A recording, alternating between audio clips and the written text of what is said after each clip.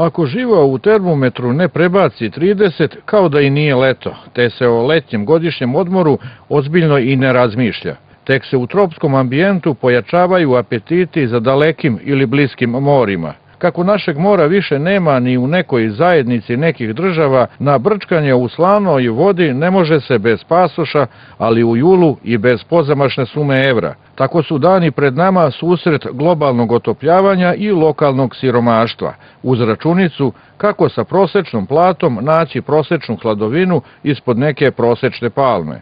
Znaju i turističke agencije da iza slamerica nema šta da se vadi, zato spuštaju cene, kreditiraju ili kao ona grofovska firma uštede troškove džeparca, turiste ostave da se sami snalaze. To je bila prilika da saznamo da ako poželite da prodajete more, treba vam 250 evra osnivačkog uloga, tašna, mašna, telefon i web sajt u pripremi. I eto turističkog biznisa i za vlasnike grofovsko letovanje. Tako biva kad se narod navadi na plemićke navike, na primer kao što je letovanje na moru.